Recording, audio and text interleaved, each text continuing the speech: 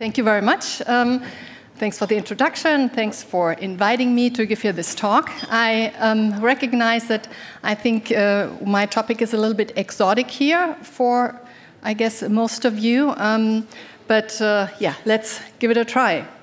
So, what I want to, oops, talk about um, today is um, what kind of study designs we use in air pollution epidemiology that are specifically useful in inf informing about um, the issue of causation. And because that is so strongly linked to evidence synthesis, I will just make a few very short remarks about evidence synthesis. And then finally, because that again is very much related to getting the numbers right, which means what is the actual size of the effect. Um, I'll talk a little bit about that, how to get unbiased population based health effects in um, epidemiological studies. So, um, to bring you a little bit up to speed on air pollution epidemiology, I'm going to start with a little introduction to air pollution. So, I guess when you hear about air pollution, this is what you think about, I suppose. You know, traffic here, you know, what comes out of the tailpipe. Um, maybe you think about coal burning power plants or industry. Well, Several things you probably do not think about are these here. So this is also air pollution. Here, the wear from tires, from brakes, from the, from the road. Um, today in Germany, this is about half of the particles that come from traffic uh, do not come out of the tailpipe anymore, but they come from tire, road, and brake wear. Another thing you probably don't think about when you hear about air pollution is agriculture. One third to one half of air pollution we have in Germany and let's say in, um, in, in, Europe comes from, air pollu- uh, comes from agriculture. And then finally, one of my favorites um, this is also air pollution. Let's hope that the dog here is not the first victim of this nice um, wood burning stove here. Um, that one causes a lot, oops, sorry, wrong direction. How do I get back? Yeah. Um, that's causing a lot of air pollution inside and outside um, due to current EU regulations classifying wood burning as a renewable energy. Thanks to that, um, by now about 20% of particles in German air come from wood burning. So um, sometimes you have to get away a little bit from air pollution to be able to see it. And here you can see it quite well. So this is what we are sitting in all day long, from morning till evening, what we're breathing. Um, that doesn't, doesn't sound really good. And it's also um, the problem you cannot evade air pollution, obviously. It's everywhere. And here's an example. You see these, you know, this is where we had uh, the wildfires in the summer um, this year in Canada. And um, here you see the smoke crossing the Atlantic Ocean and reaching Europe. So this is something um, you cannot get away from. It's pretty much everywhere. Um, a famous air pollution epidemiologist always says, air pollution is the only man-made object you can see from space with the naked eye. You cannot even see the Chinese wall, but air pollution you can see. So um, what is air pollution? Air pollution is a mixture of gases. Um, the most important ones are ozone, nitrogen dioxide, and um, sulfur dioxide, and um, of particles. And these are the most important particles we look at in terms of regulation. I want to explain this a little bit more, you know, what these numbers here, what these acronyms mean. So the PM10 particles, this is a human hair in comparison, are the little blue balls here, and PM10 means this is particulate matter with a um, diameter of less than 10 micrometers. Um, and that's one of the particles that are being regulated. Now, if you look at these red dots here, these are the PM2.5 particles. They are smaller than 2.5 micrometers. And then, once again, here you have these little dots here. These are the ultrafine particles. They are smaller than 100 nanometers. Why is that important? Well, it depends on what happens with these particles. Now, if you step outside um, today, um, please expect to inhale about 3 million particles with every breath you take. Um, who's staying at the Steglitz Hotel? Okay, sorry for you guys. Expect to inhale, uh, you know, tonight you have probably inhaled about 5 million particles um, per breath, yeah? Um, so what happens then when you inhale these particles? Um, the larger ones, they, most of them deposit in the upper airways and then you cough them up and swallow them. So they're, um, the larger ones are not the huge problem, but the smaller ones, they get into the lower airways. Um, they even get into the alveoli and the very small ones, the ultrafine particles, they are so small they can cross biologic membranes and get into your bloodstream. And from the bloodstream, they can reach every organ. And what are they doing there? They cause oxidative stress, they cause inflammation, um, they are carcinogenic or they carry carcinogenic compounds on their large surface area.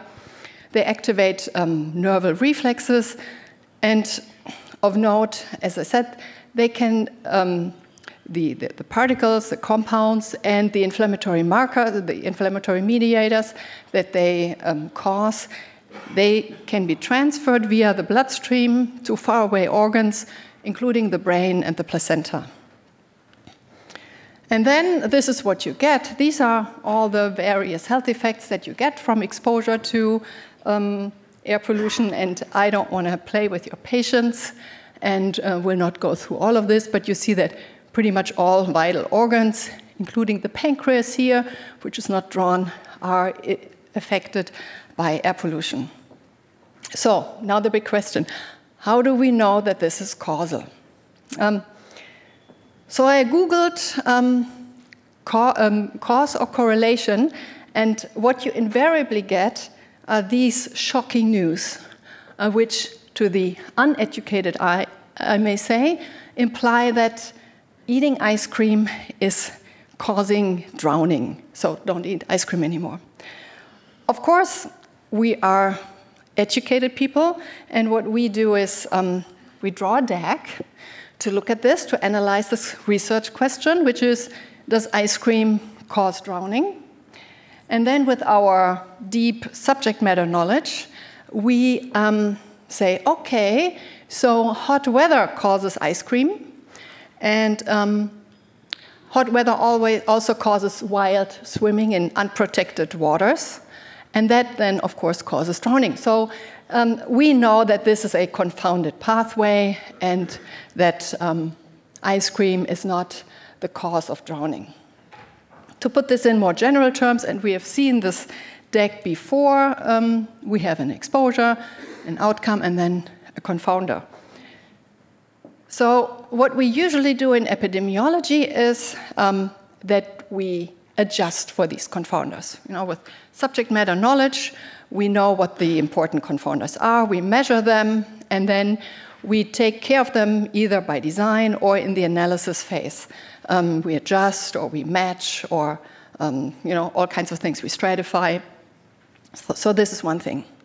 Now the other thing you can do is you can randomize, and thereby you are um, yeah, deleting this association between confounder and, um, and exposure. And this is why we like randomized studies so much, because we have an equal distribution of potential confounders in the exposed and in the unexposed group. That's what we like. However, there are quite a few aspects of randomization that we do not like so much. Um, first of all, in humans, we usually do not allow randomized assignment of a potentially harmful exposure to people, and um, let alone do this for many years um, on uh, you know, at a time. So that's just simply absolutely impossible.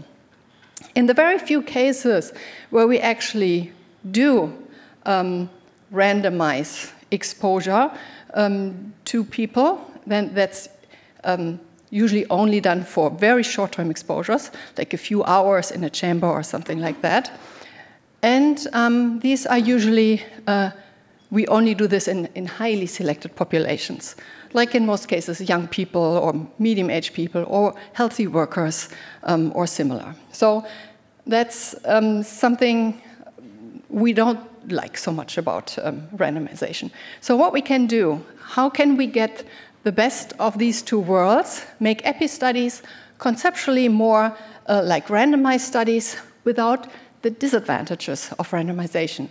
And this is where I want to show you a few um, study designs that have been applied in air pollution epidemiology that try to do exactly this.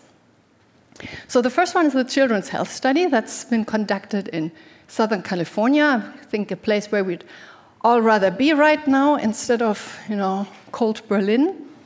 Um, now the investigators there, they've been following kids for, I think, since the uh, 1990s, and they have conducted repeated um, uh, lung function testing in these kids between the time, the year of 10 and 18 years. Um, and at the same time, they have looked at their long-term exposure to air pollution at these children's residences. So what they saw then, um, what they got was this um, graph here.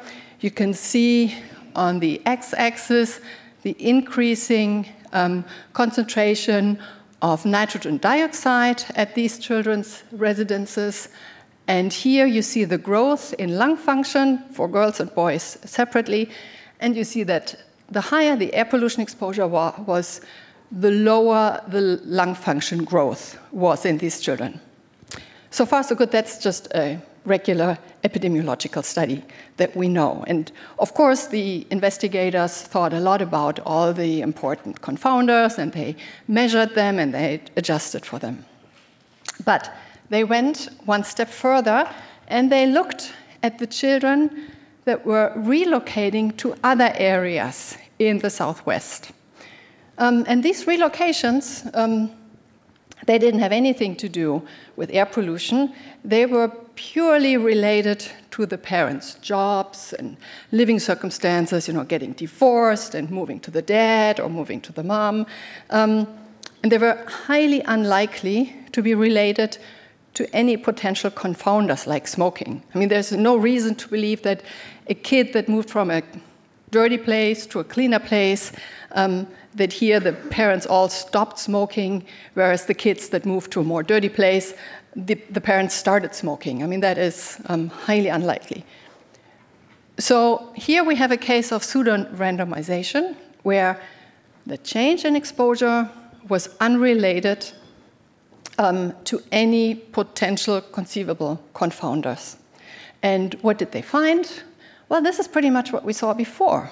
Um, the higher the change in exposure, uh, so those kids that had an increase in exposure, the lower was their lung function growth during that between um, this time.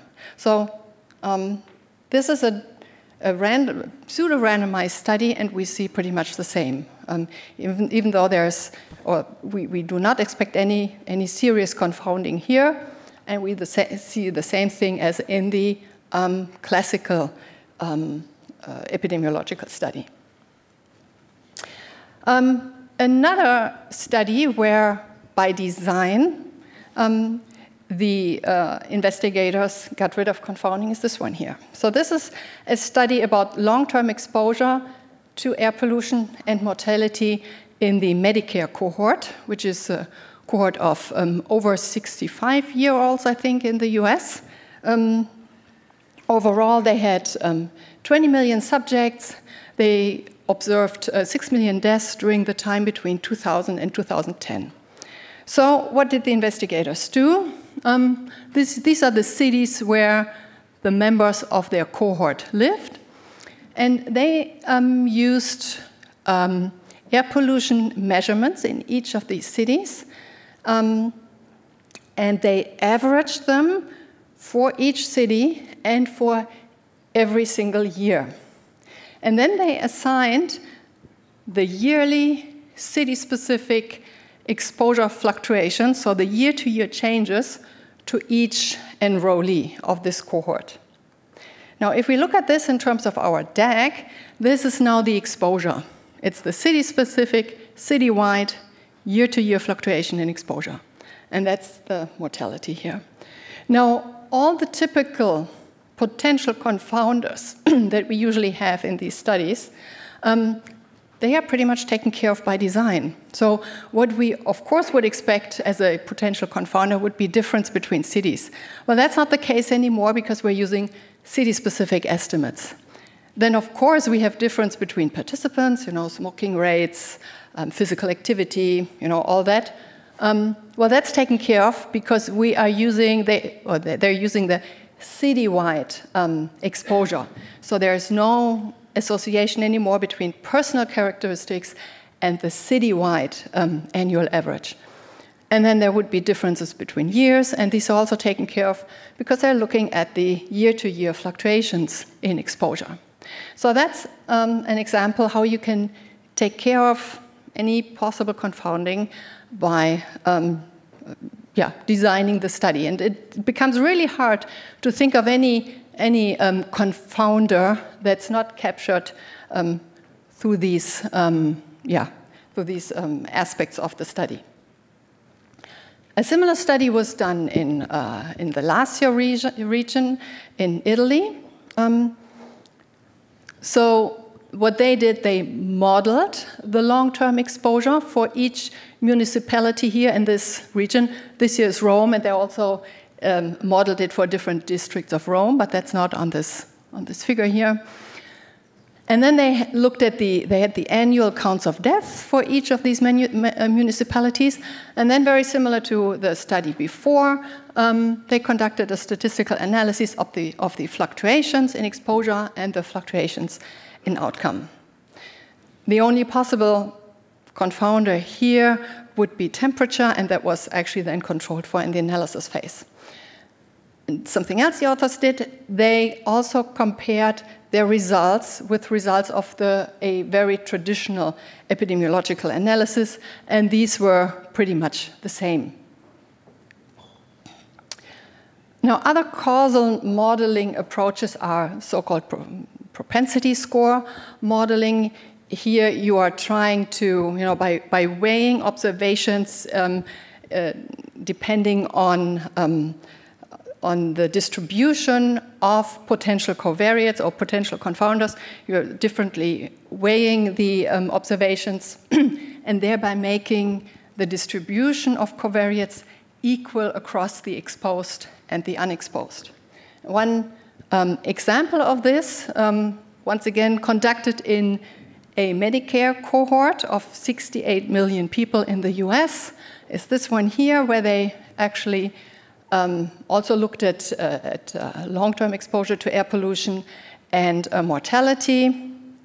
And um, they used three different um, methods of uh, yeah, adjusting for the or weighing um, the propensity score, and they also did two, you know, classical regression models, and the results were actually very similar again. Now, a um, final, I think, yeah, a final um, causal modeling approach is using um, the instrumental variables that I want to show you here. So um, you have seen this before. This is our little confounder uh, triangle here. You have an exposure and an outcome, a um, potential confounder. And then here you have a uh, instrumental variable or uh, an, another variable that is only related to the outcome via the exposure. So if you can conduct an analysis of you know, the um, regression anal anal analysis of this variable um, on this outcome, it will not be confounded by C. Now, the difficulty here is to find the right instrument. That becomes difficult. But in air pollution, actually, um, we do have a few examples for that. So let's say that exposure is air pollution, the outcome is daily mortality, and one potential confounder is here the day of the week, because we know that on Sundays we have less air pollution and less mortality than for example, on Mondays.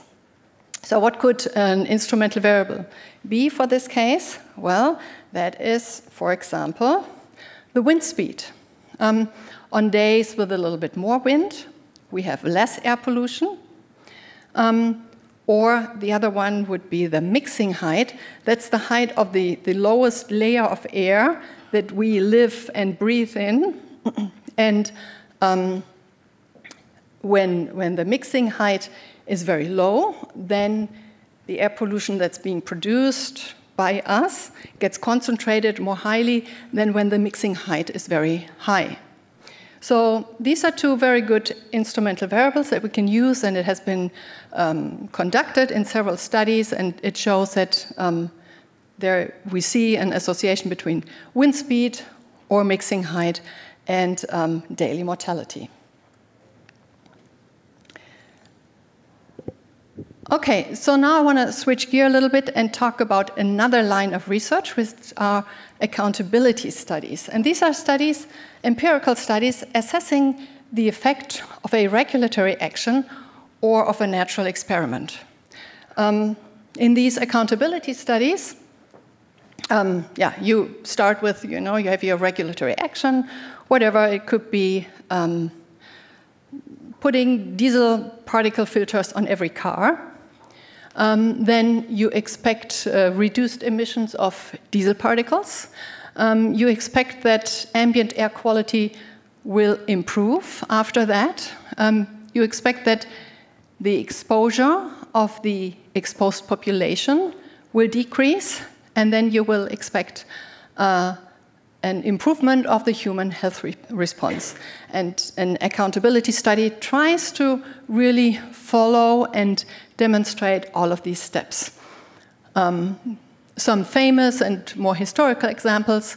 One example is the Dublin coal sales ban um, that was in the 80s when in Ireland it was um, a, a, regulation was passed to um, ban um, coal with a lot of with a high sulfur content that actually led to a quite large improvement in air quality. Um, similar thing was done in Hong Kong a while ago, sulfur content of, um, of fuels for cars. And then uh, another one you might be aware of, the traffic bans during the Beijing Olympics was also you know, one of those um, accountability or uh, opportunities to conduct an, an accountability study. I want to show you one of the more recent examples. This is um, the California Ports and Goods Movement Plan in 2006. There was a quite a comprehensive piece of regulation that um, uh, uh, regulated the basic, mainly the tailpipe emission emissions from heavy-duty traffic in California. Um, and so the, the heavy-duty traffic, they had to put on, you know, whatever scrubbers and, and particle filters and all kinds of things to reduce their emissions. Um, now, this was specifically, um, uh, the investigators looked at three different areas of um, California here. They looked at the red areas here. These were the so-called goods movements where heavy-duty traffic was allowed and where we would expect after implementation of the regulation a substantial decrease in exposure. Then there were those um, orange regions um, that also had a lot of traffic, but there was no heavy duty traffic allowed, so they would expect a, a, a smaller decrease in emissions.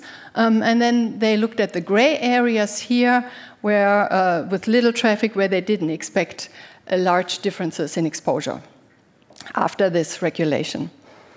Um, then they looked at uh, 23,000 medical beneficiaries with chronic disease. So these were people that had asthma, coronary heart disease, hypertension, or whatever. Um, and they looked at the change in exposure after regulation coming into effect in these three areas where um, their, their, their cohort lived. And they also looked at the change in incidence in emergency room visits in these different, three different groups of people. And what they saw was indeed the largest exposure reductions were in those called, um, in, in those areas called the goods movement corridors. So these were the red areas. And they also observed the largest reductions in emergency room visits in people living in these red corridors. Okay, now since we're in Berlin, I couldn't resist from showing you an, an, accountability study that we are conducting here in Berlin right now. This is the so-called BEAR study, Berlin Brandenburg Airport um, uh, Air Pollution Study. That's a natural crossover experiment. Um, some of you may know that in November 2020, the old international airport Tegel in Berlin um, closed, and within two weeks, all of the air traffic moved to the new Berlin airport, um, which is Berlin Brandenburg Airport, down here in the south. So, what we uh, can observe is, um, or what, what, we did is, we looked at um, changes in air pollution concentration, specifically changes in ultrafine particles that come from air traffic. Um, and we looked at the area around Tegel Airport, um, the area around BER, so the new airport, and we looked at area at an uh, control area where we did not expect any changes in aircraft-related ultrafine particle exposure. Um, we conducted a, or we conducted, I mean, this is an ongoing study. We conducted a crossover study in 1,000 elementary school kids who go to schools either here or around BER or in control area. Um, we do repeated lung function and cognitive function tests on these kids. And once we're done, which is going to be next year, um, we'll conduct a difference in difference analysis to check and to contrast changes in exposure and changes in health outcome in these um, three different groups of children. Okay, so um, these are just a, a few um, epidemiological study designs um, that specifically inform about causation. I don't want to say that other studies don't, but these are just some um, specific examples.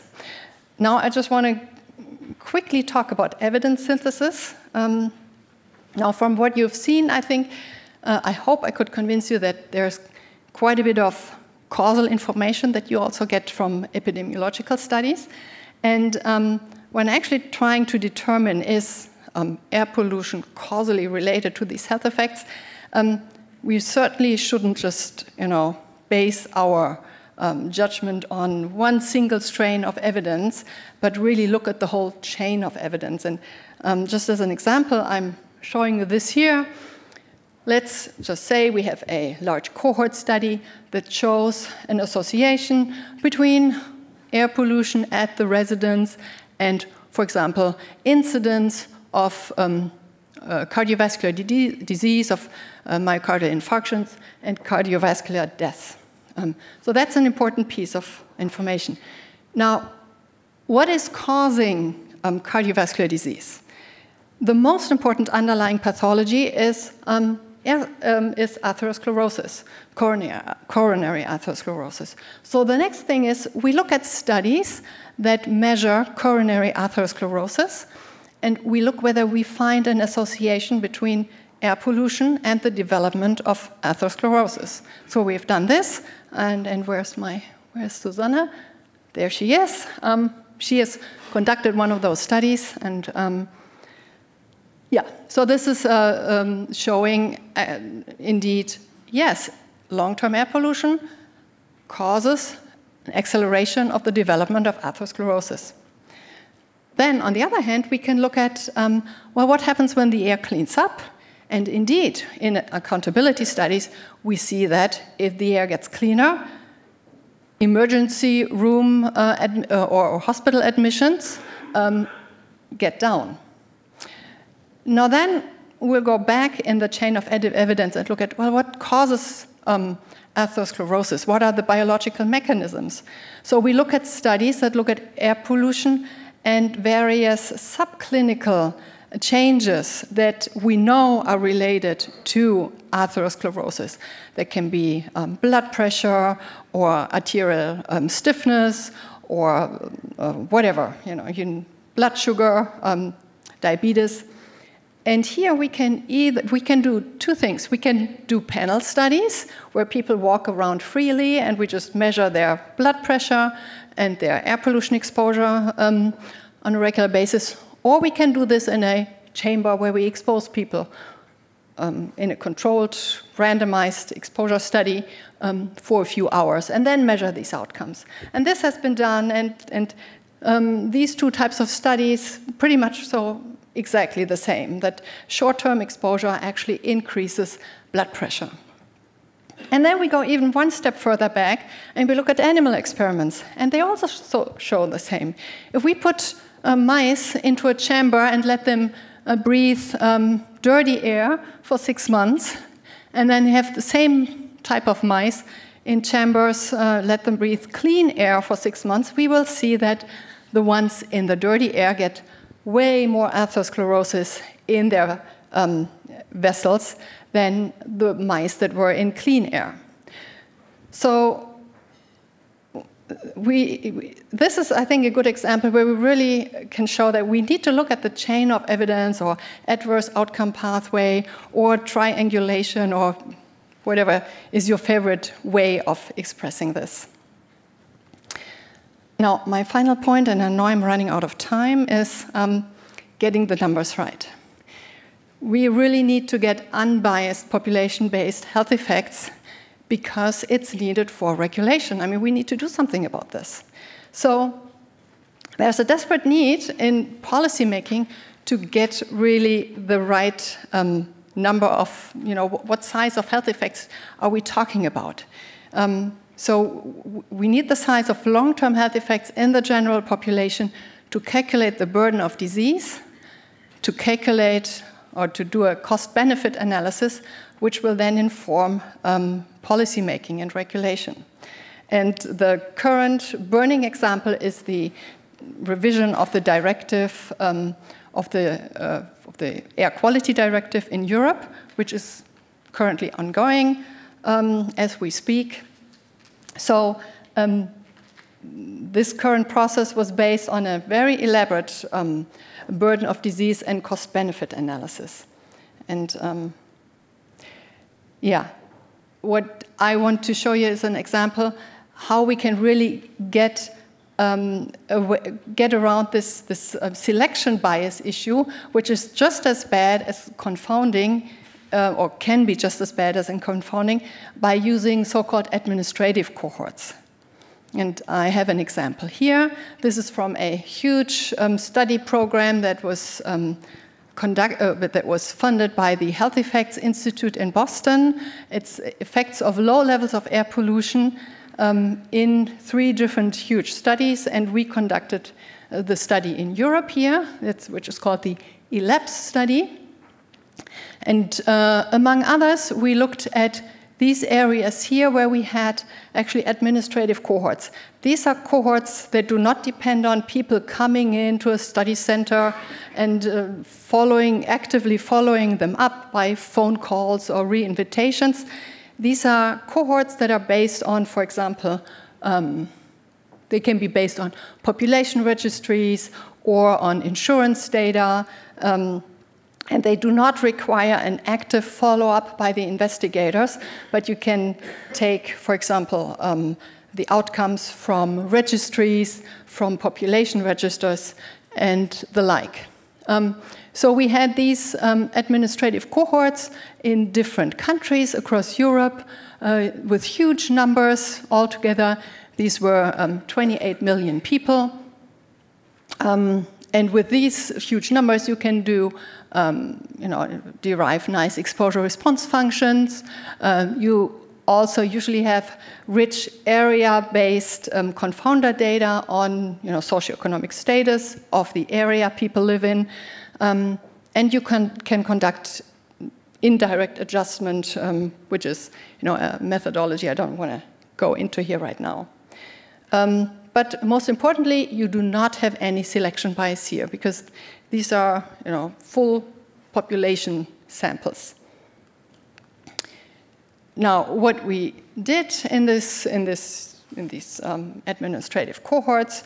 We looked at the long-term exposure at people's addresses and uh, mortality, among others, and this is what we found. Um, we saw that the effect sizes were quite a bit higher than previously estimated in, in other studies. Um, the effects went down to the lowest observable levels. We absolutely saw no threshold, and the effect sizes were even higher at the low end of the exposure. Now, these findings are very important for burden of disease assessment. Um, so, the European Commission conducted a health impact assessment for their revision of the Ambient Air Quality Directive, and this is what they used in their main analysis.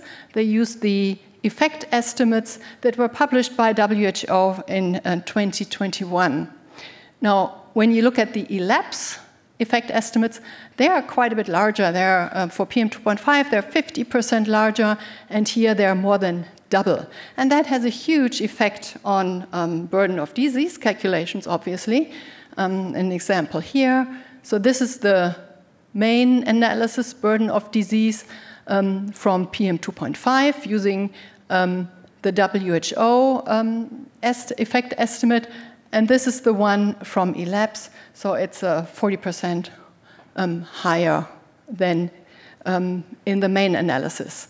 And for NO2, it's even more than double uh, the value of the original main analysis. So this shows how important it is to get the numbers right, and um, administrative cohorts are a very good um, solution because you don't have to struggle with um, uh, selection bias in these cohorts.